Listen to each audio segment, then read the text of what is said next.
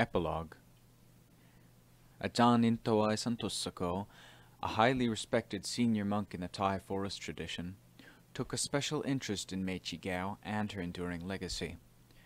Born in a village near Ban Huaisai, and ordained as a novice monk at the age of eleven, he had known Mae Chee Kaew since childhood.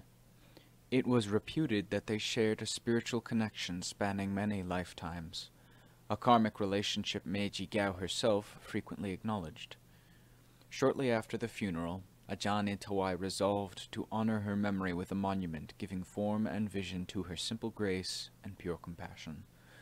He envisioned a place where people from all walks of life could gather to recollect her extraordinary virtue and pay homage to the relics of a female arahant.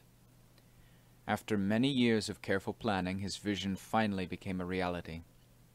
Together with a group of railway engineers from Bangkok, Ajahn Inthawai designed and built a memorial stupa with a broad trapezoidal base topped by a gracefully tapering spire. The building took shape on a high, flat stretch of ground adjacent to Ban Hui Sai Nunnery, an imposing structure that rises nearly 80 feet from the base to the crown.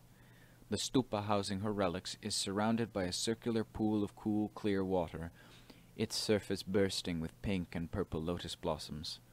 The water is rimmed by landscaped sections of tropical flower gardens, interspersed with natural rock formations and hedged by rows of neatly trimmed shrubbery. Tall, shady trees line the outer periphery. An atmosphere of unusual peace and serenity pervades the entire area. The Mae Chee Kaew Memorial Stupa was officially opened on May 21, 2006. It has since become a place of pilgrimage for devout Buddhists from all over the world. Her magnificent relics, with their gemstone-like qualities, are prominently displayed on the altar. The stupa is home to three life-size statues of Mae Chee Kaew. Tucked into the main alcove is a standing statue of Mae Chee Kaew made of composite materials. On the second floor of the stupa, high on the shrine's altar, sits an elegant wax reproduction, dressed in the white robes of a mae chee. A pure white fiberglass statue of her walking in meditation dominates the stupa's ground floor. The intricately crafted copper doors and windows on the second floor were designed and built by a renowned national artist. Ajahn Maha Boowa kindly presided over the official opening ceremony when her relics were formally enshrined in the stupa.